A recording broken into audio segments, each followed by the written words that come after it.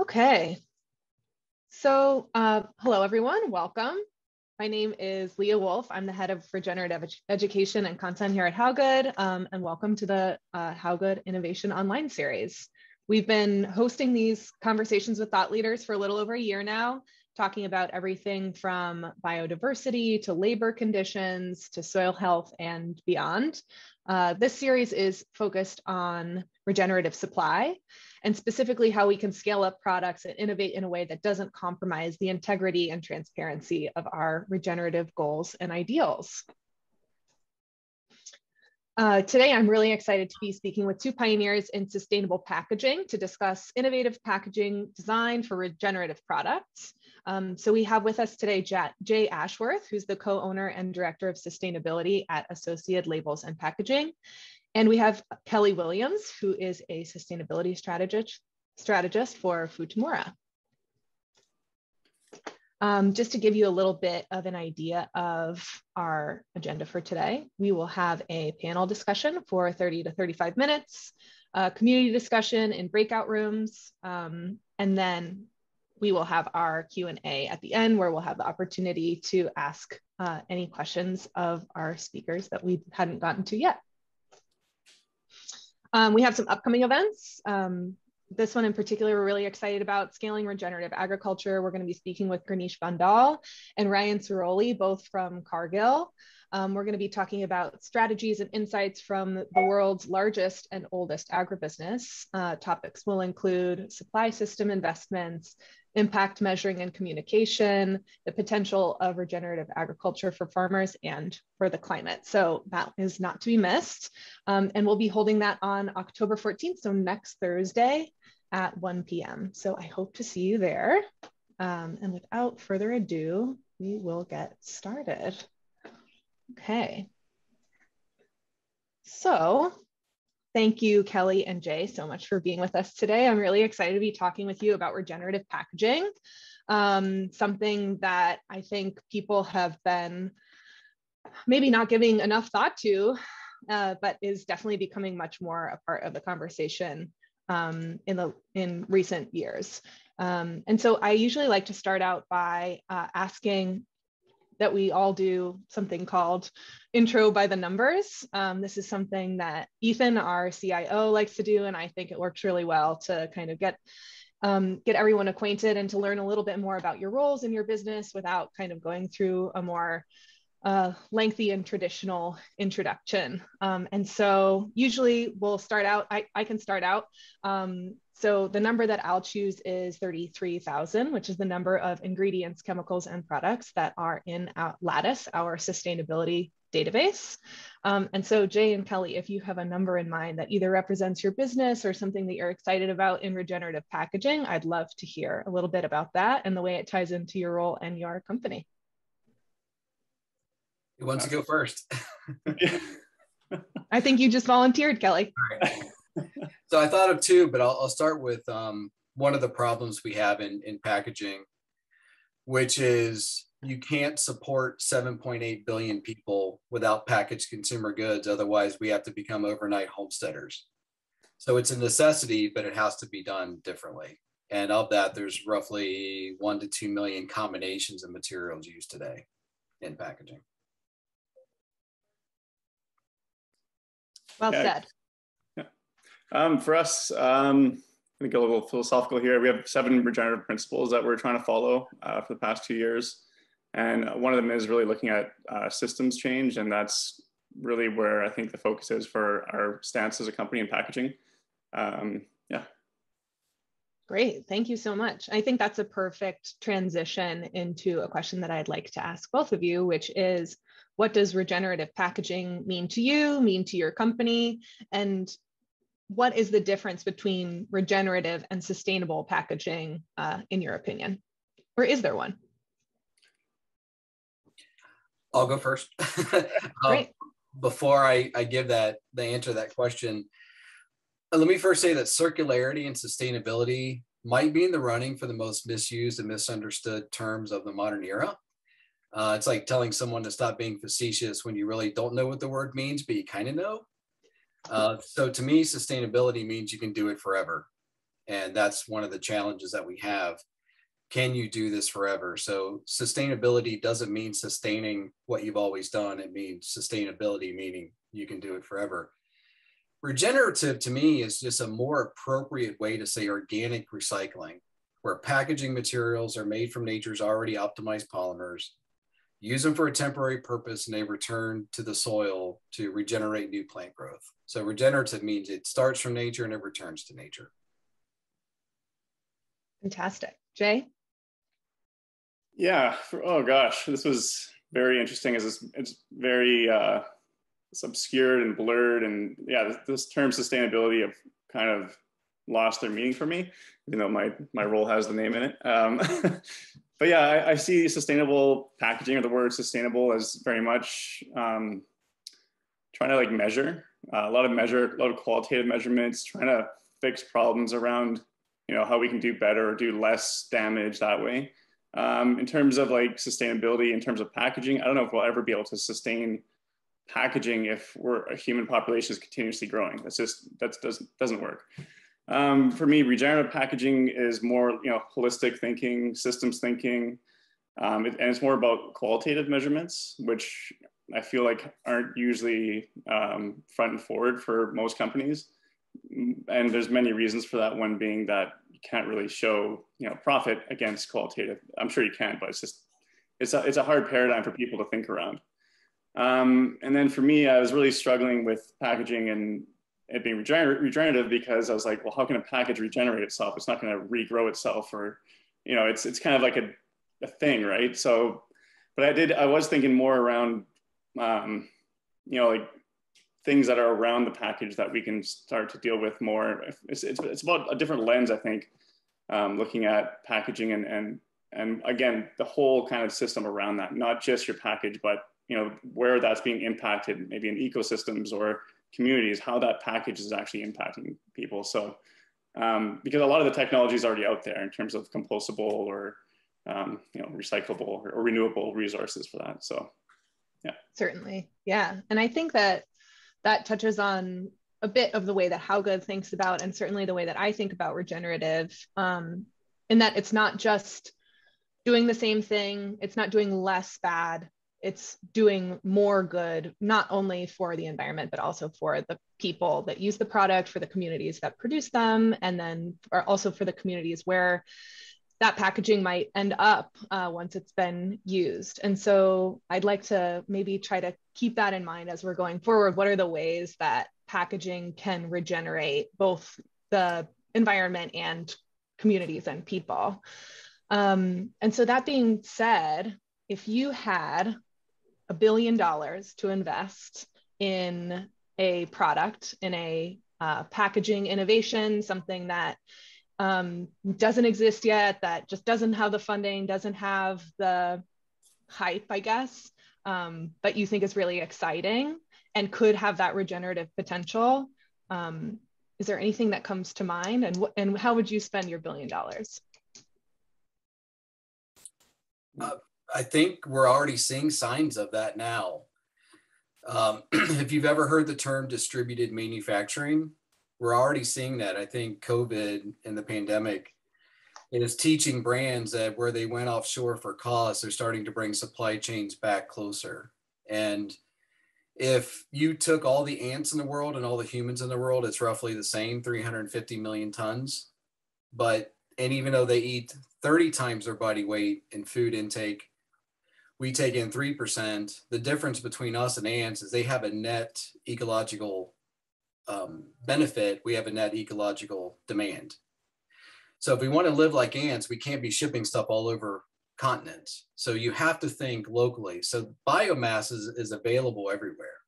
The average harvest in, index, which is how much food is actually taken from the plant, is somewhere between 48 and 49%. The rest of that has to find a home. So that's a great source of raw material that the planet has already optimized the polymers, the chemicals that we can use to make these packaging needs, but do it in a local level. So if, if, if it were my billion dollars, I see the need to start taking that biomass extracting the cellulose in a greener way so we can use it to make packaging, not shipping it from Thailand to the United States, but making it in Ohio, in California. Because paper is the, one of the original um, packaging materials. It's a canvas that you can paint green chemistry on to do the different things. And then the biopolymers then complement all of those combinations. So to me, I would invest in green pulping technology because that we're going to have to have it. We can't continue to rely on paper from kraft mills. The solution to pollution can't continue to be dilution. Well said. And I'm curious, um, what what are some of the main sources of that biomass that you're envisioning? Is it something that is a byproduct of an agricultural industry, or is it something that is going to need to be produced specifically both. for? Okay. Both. Both. Agricultural biomass is plenti- plentiful. Um, if you look at, um, you know, rice, oats, wheat, all of that, there's a tons of biomass. In some areas, they burn it because they don't know what else to do with it. But you can also grow grasses easier and faster than you can grow trees that generally have more cellulose than trees the reason we use trees to make paper is because when you have to have a process that does 1500 tons a day to amortize the sins of the process, it's hard to bring in 1500 tons of bales of wheat straw. Just imagine the enormity of the space you would have to hold bales of wheat straw. Logs become a convenient way to move it, but now you have this densely packed cellulose you have to then unravel. So it's like a double edged sword. It creates why that process is 93% of the world's pulp manufacturing. To me, hemp is a very, very important raw material. It's a great material. It's a, it's a biorefinery in, in and of itself, but all the agricultural waste as well. So there, there's great sources of the cellulose and the lignins and the chemicals to synthesize new biopolymers. It's all there. We just have to realize that when we develop the platforms we live on today, that was during a time when the question was, can we do it? Today, the appropriate question is, should we do it? And in order to do something new, you got to stop doing something old. So we're kind of caught in that inflection point. Sure. Yeah. And using the doesn't work work to use the same tools that created the problem to fix the problem.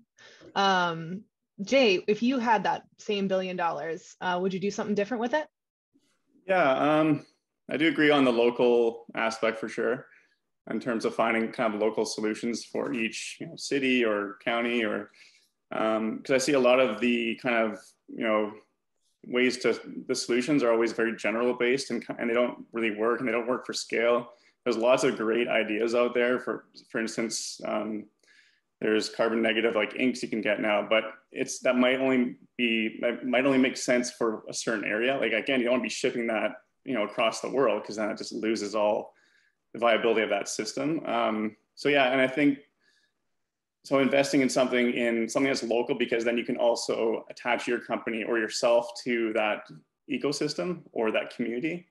So if the inputs are coming from somewhere local, you can actually make an impact. But right now, a lot of packaging, we don't know where any of those inputs are coming from. Uh, and that's that's concerning for many reasons. Um, so yeah, it would have to be something that's kind of locally sourced, a local solution, um, and obviously something that's renewable. So um, yeah, it's a, it's a tough one. There's already lots out there. It's just, I think finding one specific to an area. It's kind of like using what you're good at. Um, you know, up here in the Pacific Northwest, we don't have bricks, brick buildings. We have a lot of wood buildings because that makes sense. So it, has got to be something like that, something that makes sense to where you are located. But that's also very hard because our products get shipped all over the world or all over North America. So it's just, yeah, it's very difficult. totally. It's a huge, I mean, it's a gargantuan distribution issue, but it's also, I, the CPG industry is now at what, three trillion dollars, I think I saw the other day.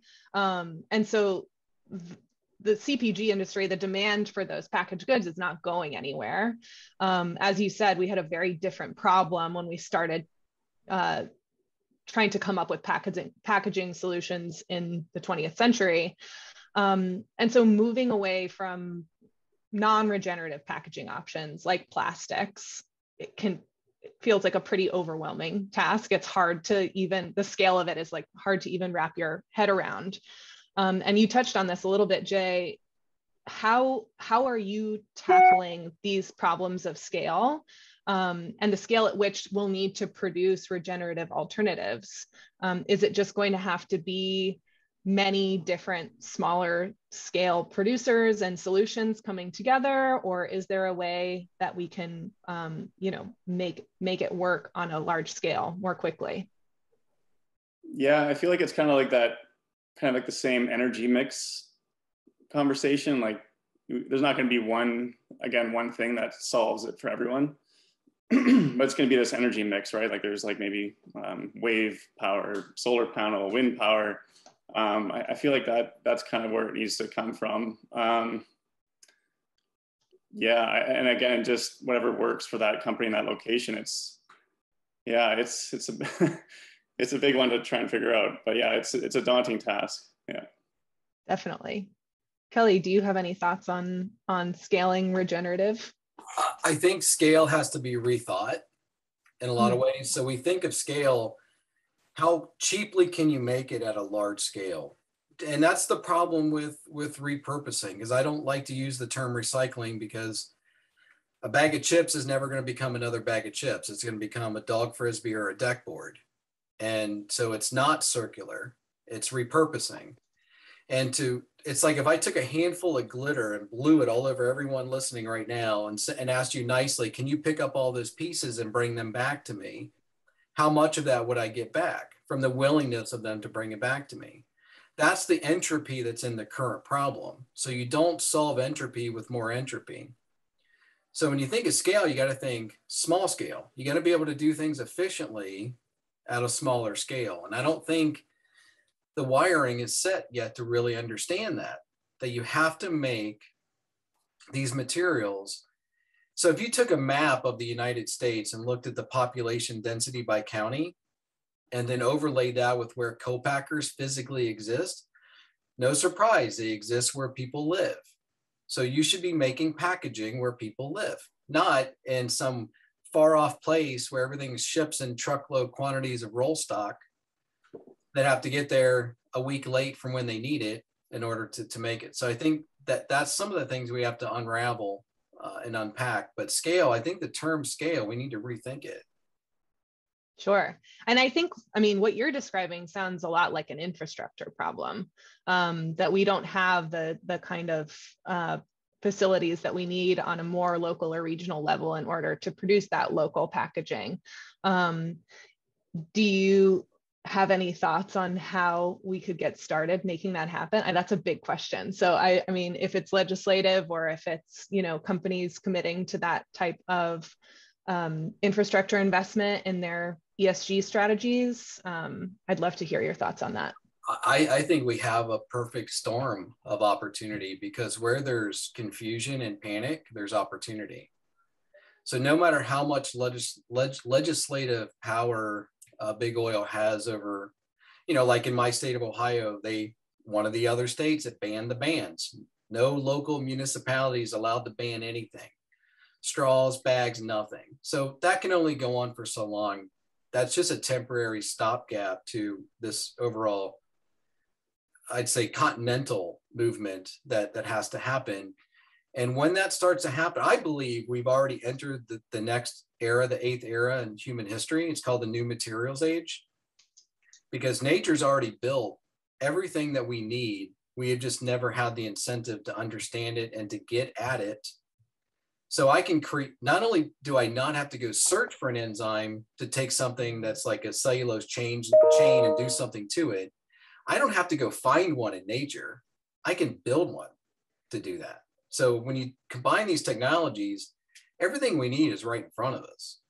It just the the the clouds got to clear so we can see that path and believe in it, and then the innovation and the opportunity just kind of flow from it. Sure, and when it comes to innovation, when it comes to design, when it comes to research and development, what are some of the what what are the processes that happen within your roles and at your companies um, when you are designing a new product yeah for our company um, you know a lot of our I guess, demands or questions come from trends from our customers. Um, and we take those and we have to vet them ourselves. And we also use a third party lab to kind of vet, you know, see if we're missing, we're missing anything as well, right? Um, so yeah, it's, it's very important for that process to happen. Um, yeah, so Right. Can you repeat the question? the question? Sure. Yeah. Well, so I'm just wondering what that design process is like, what the R and D process is like, but maybe also um, what are some of the obstacles that right. you typically face, yeah, um, and sure. what so, part of the process?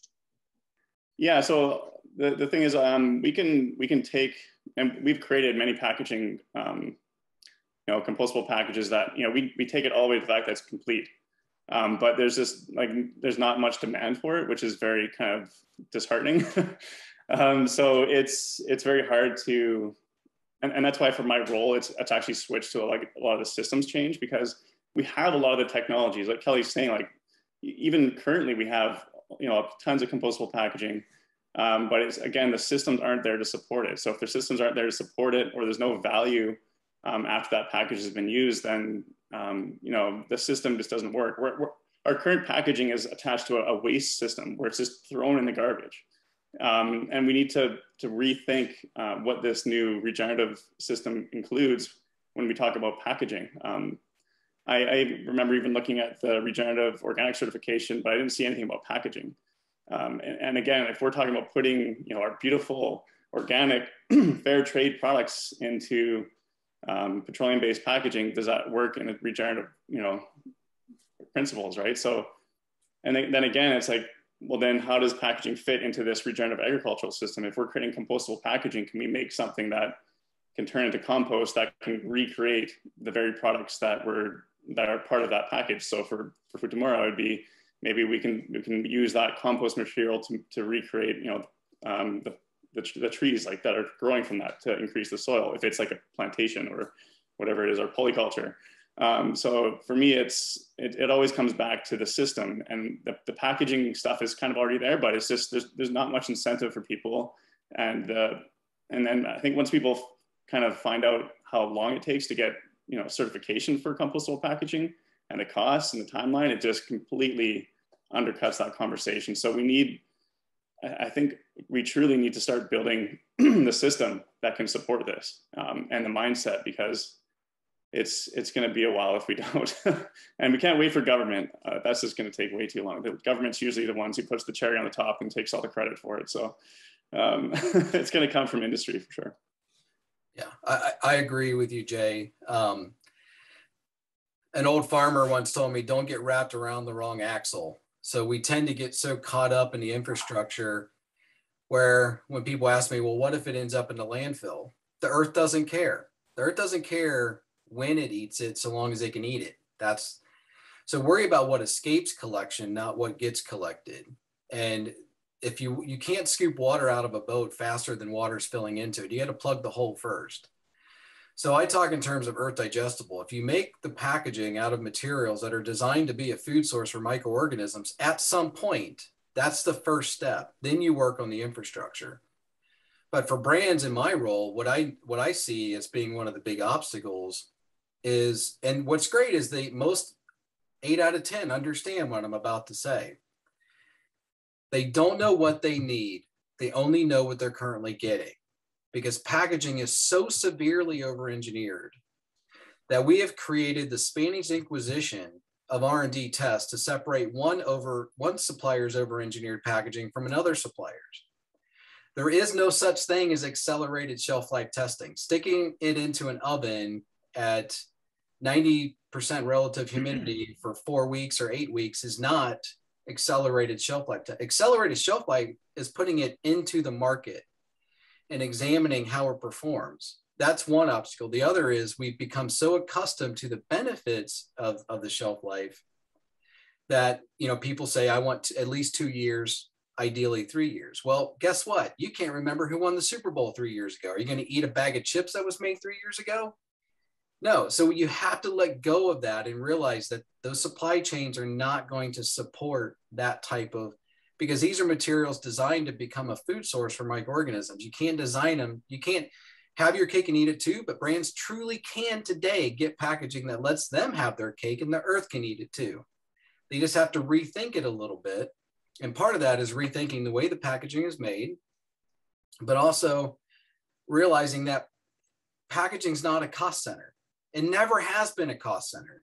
You can't sell a, pa- a, a packaged consumer good without a package. So why would you ever consider it a cost center? It is a profit center. It is the, the billboard for which your product is contained in. And that billboard space, combining digital technology and other things, you can create one-to-one relationship with the consumer that bought it.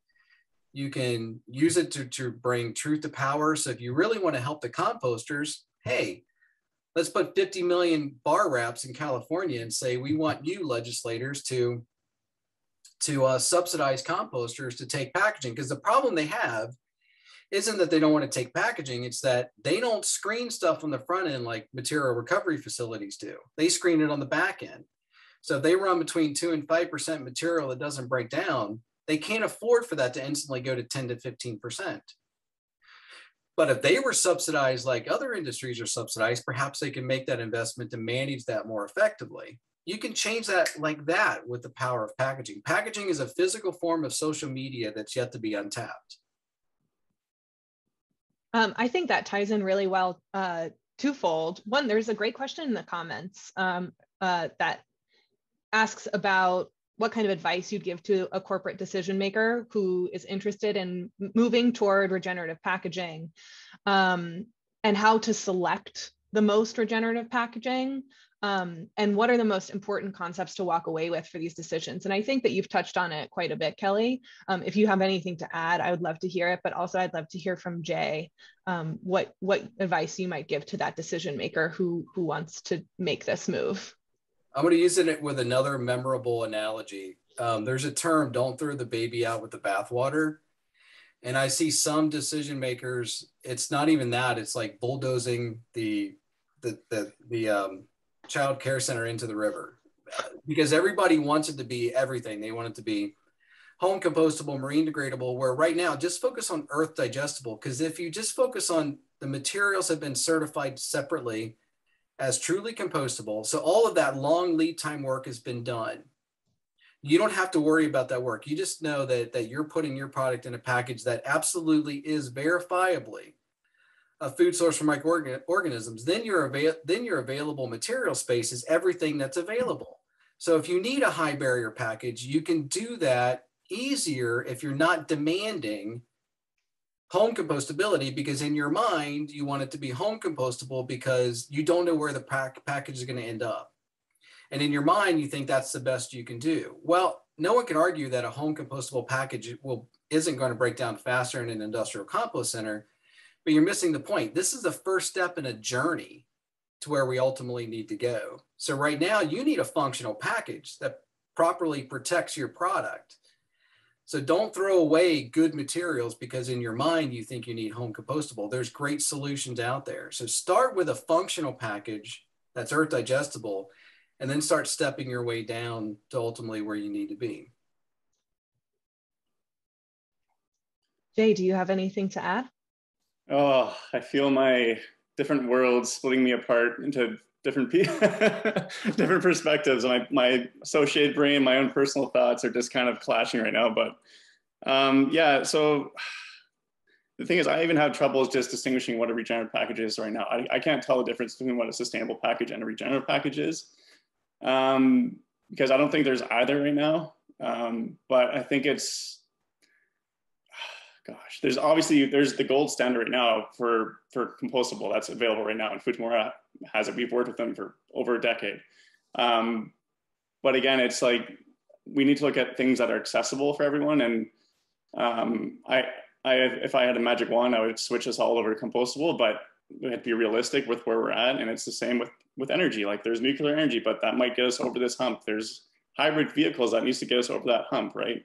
Potentially. Um, so yeah, I think my my advice or my thoughts would be um, for for companies that are looking for regenerative packaging is to start just looking at what your motives are in the first place. Um, if it's if it's that you want to reduce GHG gases and that's the only thing, then you're you're probably looking at only one of the one fragmented problem of climate change. Um, and I, yeah, it's it's to me, you know, we start doing that, we start fragmenting things, you start having all this greenwashing. It's just it's just horrible. So I would I would I would say start looking at um, you know how you can work with your packaging converter and their suppliers like Futamura on on how you can you know create something new um, we we need to try and try hard again. No one's going to be as unique as your company.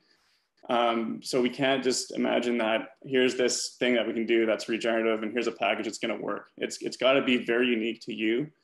Um, and yeah, and that's where maybe the time is to work around packaging. You know, around, I don't mean I don't mean I mean more like where where's the inputs coming from? How can we you know, regenerate those systems. Um, if we can't create this perfect package right now, then let's at least regenerate the forests that are we're using for pulp. But maybe look locally at your own pulp mills. That's what that's what we have to do, um, because and Futamura and even us, we have our own kind of um, things that we have to keep hidden because those are a competitive advantage. But we have to work locally to, to see these things through. And um, for me, it's just working locally with with people and trying to figure this out at a local scale. So just start doing that, get involved in different areas, ecosystems, getting involved with waste systems, get involved with all these things that you're, all the touch points of your package, get involved with that. That's all I can say. Don't take on like one thing like GHG emissions. Do, do look at the whole picture of your package.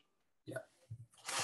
Yeah, I would agree that. Look, look at all the inputs and all the end of life because you're not going to hit a home run out of the gate, but you can chances are you can make a big step towards making sure your packages are digestible.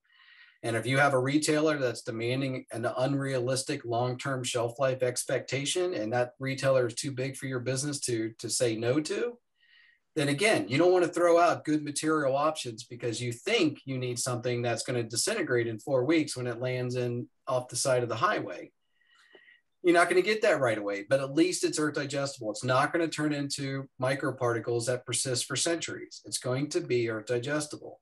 Focus on that first and then let everything else catch up. That'd be my advice. I'd like to, yeah, and I'd like to kind of expand on on that a little bit. I so we have a question in the chat that um, is is pointing out that compostable items ending up in landfills still generate methane, um, and that a lot of compostable items need to be in industrial composting facilities in order to break down. And so, in your point of view, as as we continue to talk about infrastructure and things on a more local level, does that mean that we need more industrial composting? Do you see it growing in prominence in response to, to this kind of shift to more compostable items? Composters are alive and well and they're profitable, but their margins aren't fat. A lot of them are sold out for six to nine months, so they're doing well. The, the, the challenge is, again, they don't sort stuff on the front end. So they need help. They need some of that $25 billion that the oil and gas industry gets to help address some of the challenges. And as weird as it is, um, you can't take packaging and sell your compost to organic farmers, which is ridiculous. So I think I saw something about GMO. The GMO part, look, the, that again, we have to create some time. Like right now, there's there's biopolymers out there that are were designed to use plant-based feedstocks to create those polymers. Well, if that plant-based feedstock doesn't currently exist, you can't. You have to use synthetic feedstocks. So again, let's not throw the baby out with the bathwater. You got to realize that at the end of the day, is that product a food source for microorganisms or is it not? And if it is, it doesn't matter if it goes in landfill. Today, today we have to plug the holes. You got to keep me from blowing the glitter into the crowd. That's what we have to do. Otherwise, that glitter's got to disappear on its own safely. If it can blow away, it needs to go away safely. And right now, it's it's about what escapes collection. That's the problem because my estimate is we got 1.6 trillion units being dispersed into every corner of the world every year, and we can't even design packaging that stays in one piece. I usually have something here I can show you. When we open packages, it ends up in two pieces most of the time. So you just doubled that because now you have twice as many pieces to deal with. Like we haven't we can't we haven't even designed packaging to stay at least in one piece. to then try to recover it. So Jay, I, I want to give you a chance to respond first, and then I'd like to talk a little bit more about uh, that packaging, the design side, and also um, how we're communicating to consumers the value of this type of packaging. Sure. Um, yeah, just in response to kind of local systems. Um, and it's, it's something our industry and our company struggles with a lot is integrity um, of, you know, kind of our packaging and what you're saying it is. That's a huge problem in our industry. And there's lots of stuff that's out there that is just straight out incorrect or wrong. Um, so it's a lot of it is for our company is kind of calling these other companies out um, about, you know, just, you know, saying, saying the wrong thing about what your, your compostable packages. Um, and that re really has to be done because if we're talking about BPI certified compostable packaging, um, we need to keep that integrity going. And if we can keep that integrity going, then that means that collection is, there's no integrity in collection. And now we're starting to see this in um, locally in Washington, Oregon State, where um, you know local governments are banning green waste or sorry PLA films and cellulose films uh, from curbside collection. Like that's a huge problem. we're making all these strides um, in creating this perfect package, but we're still, we can't even deal with that at a very basic level. Um, so yeah, and, and I've even seen, again, you know, talk about like government regulations locally. Um, I just the other day had a, a green, I saw a green pla- uh, bag, a plastic bag. I'm like, oh, sweet, this is compostable. And then I looked at it closer and it's just has this ink coloring and it's it said always green and but it was just it was just plastic. And it was recyclable plastic but it was green. It was like to me that's already you know you're, you're messing with the integrity of of compostable collection there uh, which is horrible. So again i think it comes down to just making sure you know each company is sticks with very high level of integrity around compostability because if you mess up on this you're really not only messing up your own brand and your own brand integrity but you're messing with the whole system that we're collectively trying to build here around integrity. Sure.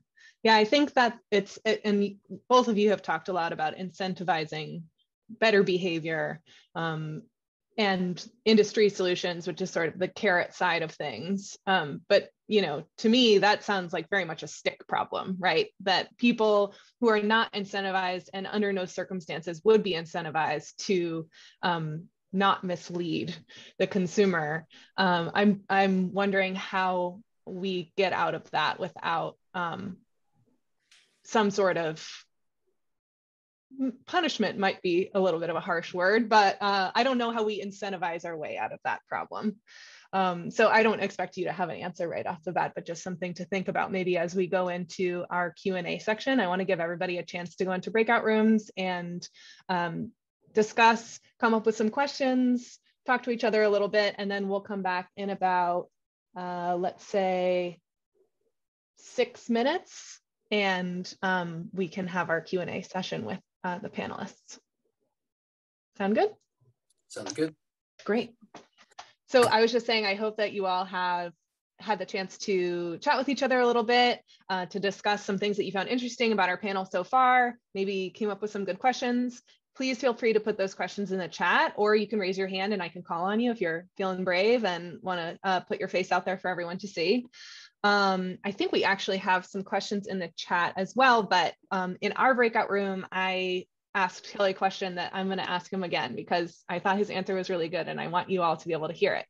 Um, so I was asking whether or not it would be possible if for whatever reason we were able to switch over to completely compostable materials today. Um, every company bought into it uh, and we were all ready to go. Would it be even possible? Can we produce enough compostable material in order to do that? You can't do it without paper because we simply cannot build we need to build more biopolymer plants but there's no way we can build them fast enough to transition the enormity of the market. And I'm talking just flexible packaging. The enormity of it is such that you couldn't do it without paper, but we can't continue to do it with paper the way paper is made. But you have to have paper. And, and the thing is, paper is a great material. It's a canvas to paint green chemistry on that does things we've never asked paper to do because we've always had the luxury of fossil plastics to do those things. So that's where the new materials age kind of comes into play that we are coming up with coatings and adhesives and things that do things that we've never tried to make before. And if you in, incorporate paper, if you need to see the product, then you need to use NatureFlex because it's literally transparent paper. Um, but if, if otherwise, I mean, paper is going to be critical to the transition. It has to be. Great, thank you so much. Um, and we have a question for Jay um, in the chat, and this is from Jessica. She's wondering, with the current infrastructure and collection streams available for flexible packaging, would recyclable store drop-off materials be your first choice versus bio-based or industrial compostable materials? Hmm. Well, if we're talking about, I guess, renewable, then I would have to go with compostable, but at, at probably uh, industrial compost, just because if you look at population densities, a lot of people don't have time or space for home compost. So um, I guess my vote would be uh, industrial. But uh, and even just for yeah, I guess the recycle thing. There's that that burn it or energy bag that's going around too that I've heard about. Um, that's just bad. Um, but even just for recycling of flexible packaging, there's a, a pilot project going on here locally in Vancouver. But um, even that, I think um, for the multi-layer plastics, um, they're just there's only about I think eight percent is actually being recycled, and the rest is going for um, for you know burned for energy. So yeah, again, look deeply into what it actually means to drop it off at the grocery store. Um, where is that going? Where is their collection? Is it you know we don't really know, right? So it's just again just follow, always follow up and know what the heck you're talking about if you're going to attach yourselves to some kind of idea like that I, would add something to, to that question if I could. Um, I think one of the next big issues in, in human uh, humans today is we're going to start to realize that, and we're seeing it if you watch the commercials close enough, our gut biomes are failing. We're running at 30% of the gut biome we should have. So as that continues to happen, we're going to realize that it's because we're growing food in dirt with nitrogen sources that aren't natural. So compost is going to become critical to repairing our soil along with regenerative farming. So there's going to be a point where compost facilities are going to be critical to, to sustaining the population so it's going to happen. It's going to become a necessary collection and redistribution to make it fully regenerative from the packaging side. Packaging is going to follow food waste to composting. It should just be a tag along versus trying to clean it and sterilize it and turn it back into another package. Just let it travel with the food and become part of, of the mineralization that we need to take dirt back to soil. Amazing.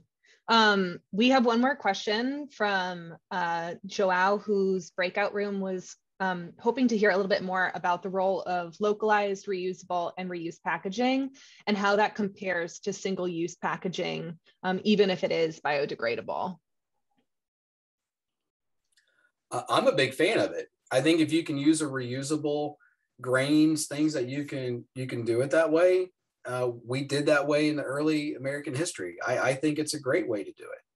We got to, if you want to plug the holes in the boat, some of those holes you got to really seal up. And one of the ways to seal them up is if you don't need the packaging, like I, one of my analogies, when we were kids, you bought eggs, you boiled eggs. Now we can buy them boiled, we can buy them peeled, we can even buy them sliced up next to some meat in a vacuum pack of tremendous amount of packaging. We can buy that. And no one's going to stop those brands from offering those elaborate packages.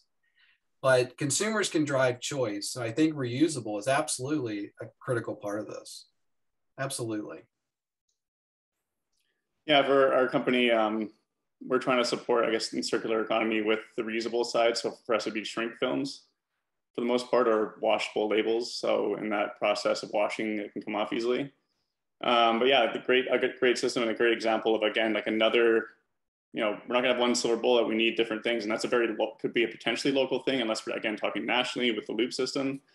Um, the only thing is with the pandemic, if it's like some kind of like local uh, thing, it could maybe have some issues there with cleanliness if it's, if the system again doesn't have integrity for, to keep that going. So Um, but yeah, it's it's definitely um, if, again if we had a magic wand and we could do all reusable, that would be great.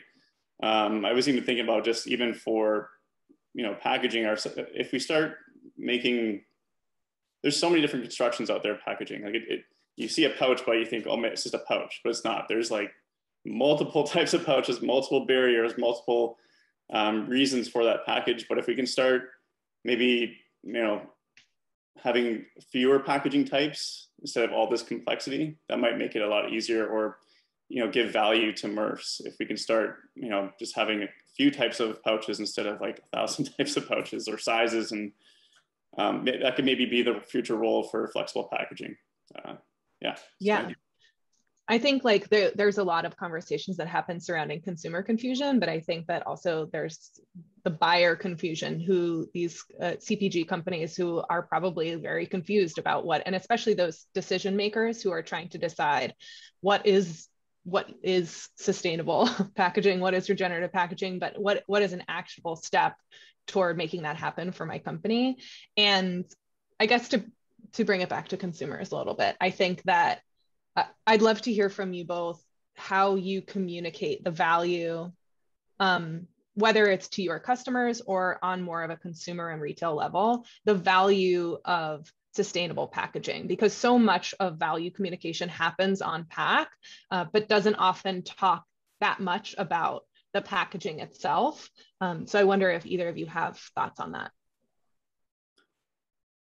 Yeah, um, gosh, it's hard when you're competing with your own marketing tools, um, especially if you have kind of like the fair trade, you know, imagery or you know all these certifications, you know, filling up the whole back of your package, ingredients, and then you have to like kind of shove in somewhere, you know, some information about your packaging. Um, yeah, I think unless you use like a QR code, but I don't, I don't think I've ever used a QR code to be honest. When I go to a grocery store to look at a package, I don't know if that would work, but that would be the only way to like kind of really expand the knowledge or augmented reality if you go into a grocery store. But again, I feel like these are not scalable or that people are actually interested. But um, it, again, it just comes down to your, the story you tell and, and how your company make, makes choices.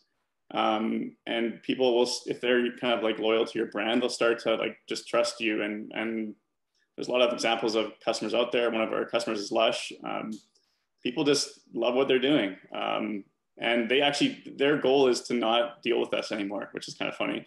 Um, they want naked packaging. They don't want um, you know all these fancy packaging or things that look good anymore. They just want the basic packaging. So yeah it's it's it's a tough one. Yeah i think that that's where the, the package is a, a physical form of social media. And you don't have to have digital printing to do this either you can use conventional printing, but you got to make the package be the interface to the story, to the information that you just don't have the real estate to put it on the pack. But I think the most important part that we don't, I think brands feel it. I know retailers feel it, but that underswell that's driving a lot of this change is the demographics of the consumer base. Younger generations don't buy bullshit and they, they don't stop doing their homework. So the continuous strive to understand is forcing. So if you put something out that's not fully vetted or it's kind of misinformation, I think it's eventually it gets unrooted. So I think they're taking that uh, Gen Z and the and the the generation behind it, they're taking them very millennials and Gen Z, they're taking them very seriously, and the one behind it that they're really looking for legitimate authenticity. And if you're not, they're going to find out. So I, I really think consumers are driving a lot of this.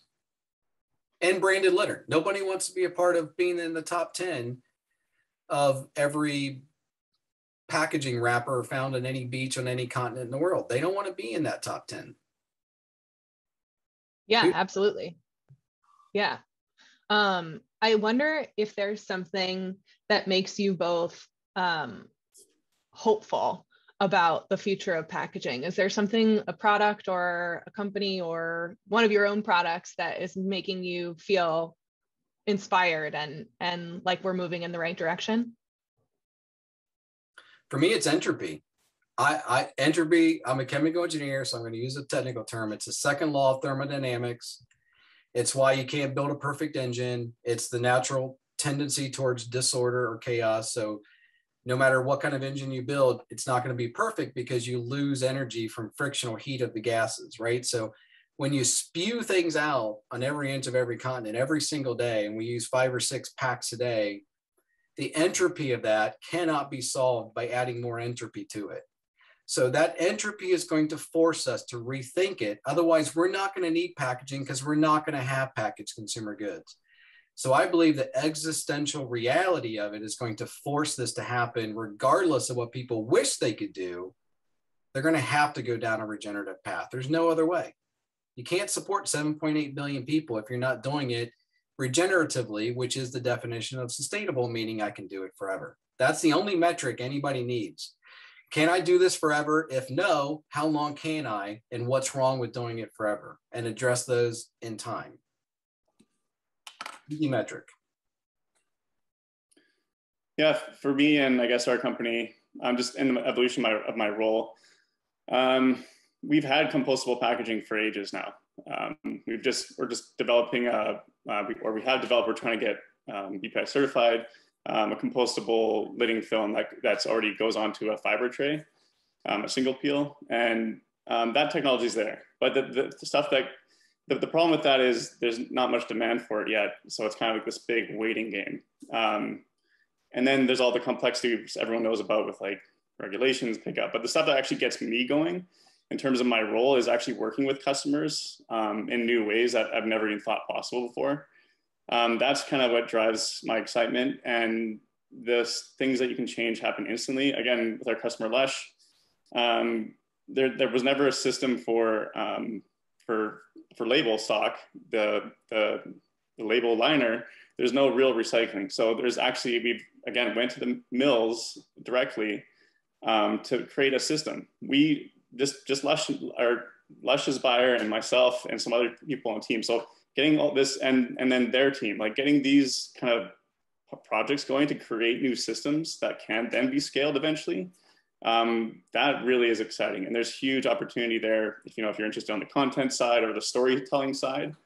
Um, it's just working together. We need community to get through this. Um, if you think you can do this alone in your company, or you're the sustainability person within your company, I we desperately need to do this in community. So I think, and and and it's kind of like those those projects we can do on the on the other sides of things, or in you know where our company uh, where our packaging ends up, or where all the inputs are. There's all these little projects that we can start to scale up.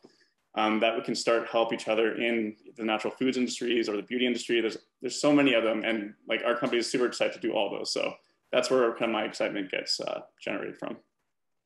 Wow, thank you so much, both of you. And thank you for being a part of our regenerative community here at HowGood. We really appreciate your time. Um, there were some questions, really great questions in the chat that we didn't quite have time to get to, um, but I will maybe try to put you guys in touch so that you can chat a little bit more. Um, and I look forward to seeing all of you at the next event next Thursday, uh, same time, same place. Um, and thanks again, Kelly and Jay. Look forward to working with you more in the future on community events like this one. My pleasure. Thank you. Thank you.